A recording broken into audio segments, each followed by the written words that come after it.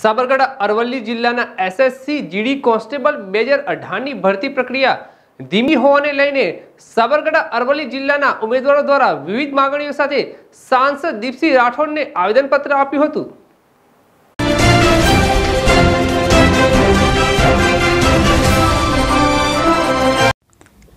પ્રાંતિજ ખાતે એસએસસી ઉમેદવારો દ્વારા ભરતી પ્રક્રિયામાં દરેક ઉમેદવારોને આવરી લેવામાં આવે તે માટે સાબરકાંઠા, અરવલ્લી જિલ્લાના સંસદ દીપસિંહ રાઠોડને આવેદનપત્ર આપ્યું હતું અને ઉમેદવારો દ્વારા રજૂઆતો કરવામાં આવી હતી કે ત્રણ વર્ષ બાદ ઉંમર થઈ જશે તો કોઈપણ જગ્યાએ ઉંમરના હિસાબે ભરતી પ્રક્રિયામાં નંબર નહીં લાગે.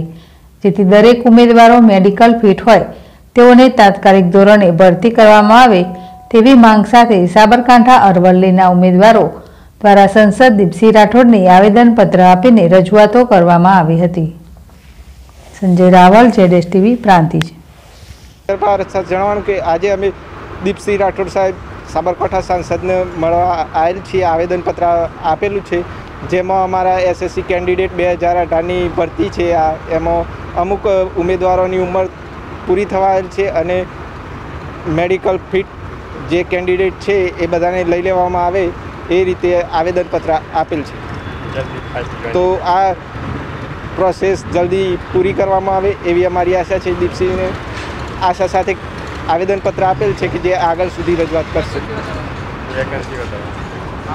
અને જય હિન્દ જય ભારત સર. હું વિજયનગર તાલુકામાંથી આવું છું પચાસ વિસ્તારમાંથી. અમારી એટલી માંગ છે એસએસસી જીડી કેન્ડિડેટ વાળાની કે બે હજાર અઢારમાં બાસઠ હજારની રિક્રુટમેન્ટ આવી હતી. એસએસસી જીડી કોન્સ્ટેબલ પેરામિલિટરીની પણ અમારે ત્રણ વર્ષ થવા આવ્યા છે. અમારે રિટર્ન ફિઝિકલ અને મેડિકલ બી પૂરું થવા આવ્યું છે. પણ હજી સુધી અમારી માંગ પૂરી થઈ નથી.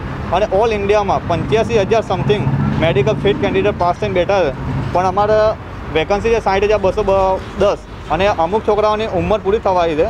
તો બીજામાં એપ્લાય કરી શકે તેમ નથી. તો અમારી એટલી માંગ છે કે જેટલા કેન્ડિડેટ ફિટ છે પંચ્યાસી હજાર, એ લોકોને જલ્દીથી જલ્દી જોઈનિંગ આપે વેટિંગ લિસ્ટ જાહેર કરે અને જ, બસ, નમસ્તે.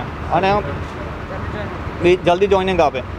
અને બીજી બીજી વાત એ છે કે સંસદ ભવનમાં રણવીરસિંહ જે ગૃહ રાજ્યમંત્રી છે પેરામિલિટરીના એમને જાહેર કર્યું હતું કે એક લાખ સાત હજાર વેકન્સી ખાલી છે અત્યારે પેરામિલિટરીમાં તમારે એટલી માંગ છે, જેટલા પંચ્યાસી હજાર કેન્ડિડેટ છે મેડિકલ ફિટ એ લોકોને જલ્દી જલ્દી જોઈનિંગ આપે વેટિંગ લિસ્ટ જાહેર કરે અને આગળની જે પ્રોસેસ છે એ જલ્દી પૂરી કરે. જય હિન્દ, જય ભારત.